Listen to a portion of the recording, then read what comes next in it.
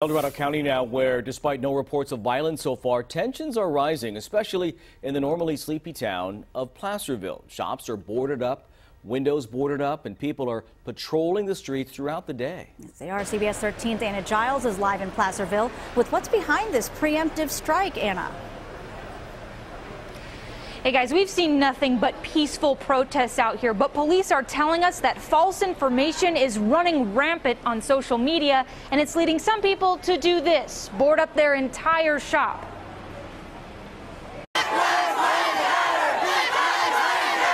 Placerville gives peaceful protests a voice. Dozens surround the courthouse chanting for hours.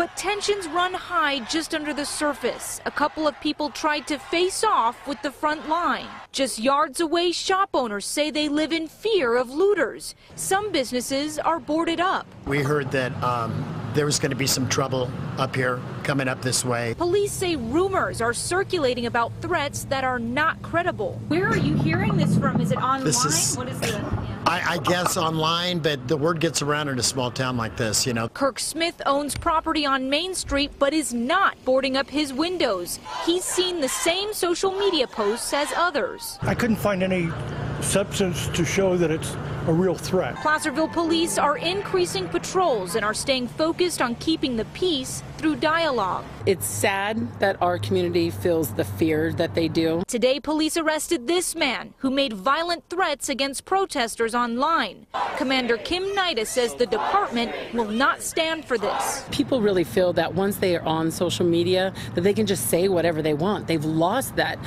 that uh, moral temperature guide guide that would stop them from talking. It's putting some people on edge.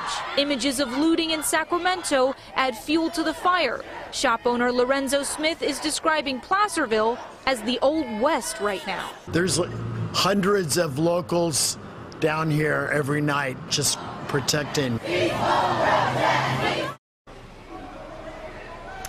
And tonight, the El Dorado County Sheriff's Office is also saying they have had no reports of looting, but they're trying to take a proactive stance. For the last few nights, they have closed off the Silva Valley Parkway and the off ramp there in El Dorado Hills, but that is just a precaution.